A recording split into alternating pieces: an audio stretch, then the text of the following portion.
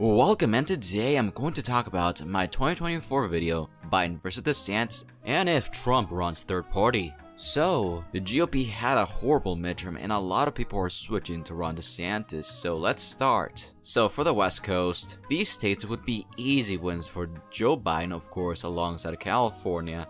All these would be huge margins for the Democrats and uh, it would be even bigger than what 2020 was and easily these two could be 30 uh, 30% because of the vote split, and California could be 40, which is insane to even think about. And don't forget that uh, Donald Trump may actually run a third party if he feels like uh, Ron DeSantis robbed him of the nomination. So, uh, well, Hawaii, another easy one for Joe Biden. That would be maybe even Obama 2008 sort of a huge landslide win. Furthermore, for New Mexico and Colorado, those would also go by a safe margin. Colorado would, of course, uh, go to Joe Biden by a really high margin. I'm guessing 25 plus, if not more. It could even be 35. It really depends on how much. Trump would split the ticket and the voters, and New Mexico also safe plus.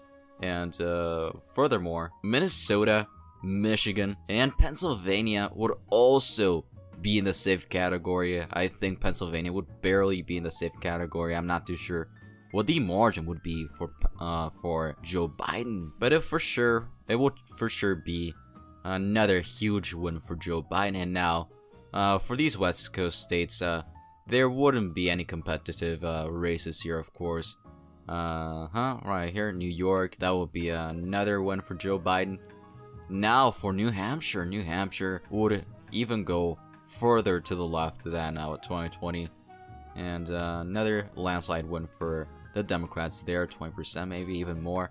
And Maine at large, uh, alongside uh, the first district, would go to the Democrats by a uh, margin, perhaps mid 30s or even more. And before I forget, uh, Illinois, Nevada would of course be there, sorry about that. So Illinois would be a safe win, even harder than 2008 Obama. And Nevada would also be a similar story where uh, Joe Biden would, would win there by a uh, higher amount of a safe margin alongside the 2nd District of Nebraska, which would be a safe a safe win for the Democrats. So already you can see that if Donald Trump runs third party, it basically ruins the chances of Ron DeSantis becoming president, which is why there is no safe states for either one of these candidates, but for the likely states, uh, I do think Ron DeSantis would be able to win a lot of these uh, really deep red states like Utah, Idaho. You could make a case for safe Wyoming or lean deep, or I should say lean R Wyoming. It really depends on how the demographics look like for Ron DeSantis.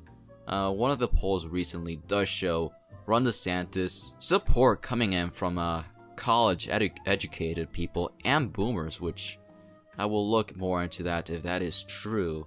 And uh, Arkansas, of course, uh, easy W for Ron DeSantis. Uh, we would see some reversals like we had not seen maybe since 2000 uh, around that margin.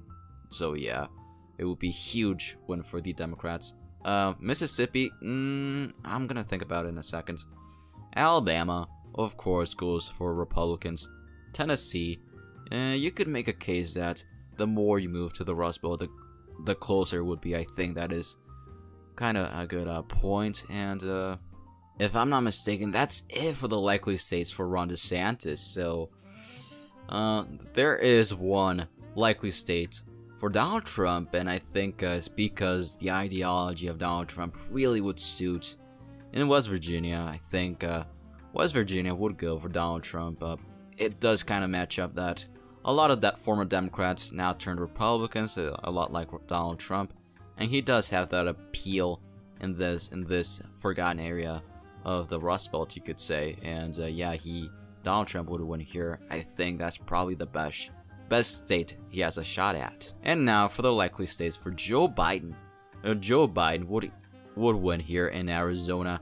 It would be close to a safe margin, but it would likely be, uh, I'm going to say, mm, around 10% or around that margin. Who knows, really. And uh, Wisconsin, of course, that one sticks out like a sore thumb. It would, eh, it, it could easily be a safe state for the Democrats. It depends on how of how good Donald Trump does at splitting the vote. Because if he gets less than Perot numbers, then uh, Wisconsin would be likely. But if he does better than Ross Perot and gets 25% around that margin, then you could see Wisconsin really be a safe margin. But who knows? It could he could have a stinker and just get like 12% or something like that. Who knows? And now, uh, moving on to the next one would be North Carolina. So, North Carolina has always been one of those states, one of those states for the Democrats that is always, almost always, uh, out of reach, except in 2008. And with this uh, split and division within the GOP, Joe Biden would win here by a similar margin as Arizona, maybe a bit less, but it really wouldn't matter. Still a, a Democrat win. And that's it for the likely states. So let's go to the lean states. Uh, first of all, for Ron DeSantis, I still think he would be able to win here. In North Dakota, it would be a bit closer than compared to South Dakota, I think. I'm not too sure the margins, but I'm gonna show you the final map because the margins could easily change, by the way.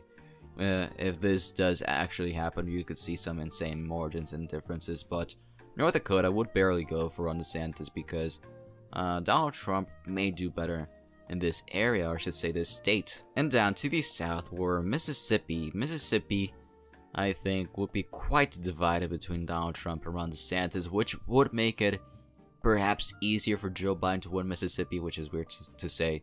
But I still think uh, DeSantis has the advantage and he would win here by a really close margin, around 2 to 4% just like North Dakota. And now for Indiana, where I actually do have Ron DeSantis winning here. This could be one of the pickups possible for, for Donald Trump if he does better, uh, hypothetically, in a third party run. It would be really close, but I do give uh, Ron DeSantis, uh, I do have him winning here by 1 to 3%. And uh, is that it? Let me check. Oh wait, uh, of course, uh, uh, Nebraska at large, I do have Ron DeSantis, and uh, the first district, I also have Ron DeSantis winning there.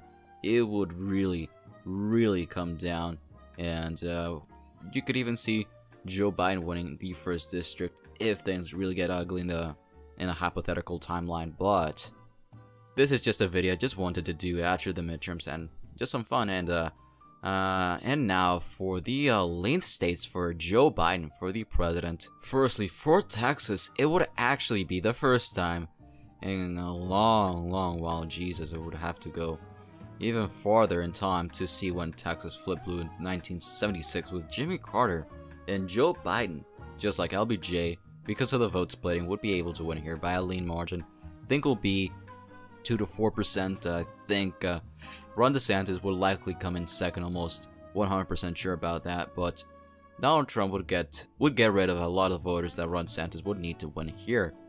And now for Florida, so Florida is really hard to predict. I think Ron DeSantis would have a lot of appeal, but there's still a lot of Trump uh, fans that would ruin the party. For Ron DeSantis, which is why I do have this, going for Joe Biden uh, by a really close margin of 2, 2% to 4% in this timeline where Donald Trump runs as a third party and the second district of Maine. Not much to say here, but it would it would just go for Biden because of the vote splitting. Simply put, it would it would be closer than the rest of the state, but still uh, one to um I'm gonna say two to four percent. It could even be likely. It depends on so many things, but we will see. For Ohio, Ohio would go back to, to Joe Biden and the Democrats. Uh, it would it would, it could actually be similar to the margin we saw in in 2012, and I have this going for Joe Biden by a lean margin. And uh, almost done. Iowa will be quite close. Uh, Iowa could even be a tilt state or even a uh, DeSantis or uh, Donald Trump. I think DeSantis maybe, but it would be a state. Hmm, it would just be lean. I don't think it has been lean for a while, so I have Joe Biden winning here by 1 to 3%. And Alaska. Alaska, because of the ranked choice voting and all that sort of stuff, it's really hard to predict who would win here. You could even see Ron DeSantis be the winner here, but I'm going to say, just like I was, same idea, lean D, uh, Joe Biden win.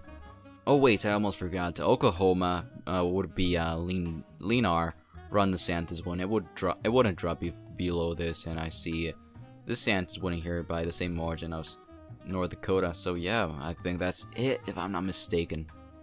And now for the tilt states, uh, uh, let's go with Ron DeSantis and Ron DeSantis. Uh, he would be able to win. I think he would be able to win maybe um, Missouri by a tilt margin. Alongside Louisiana, it would be really close, and I could see almost anyone win these states. I could see Joe Biden winning here, maybe even Donald Trump winning Missouri.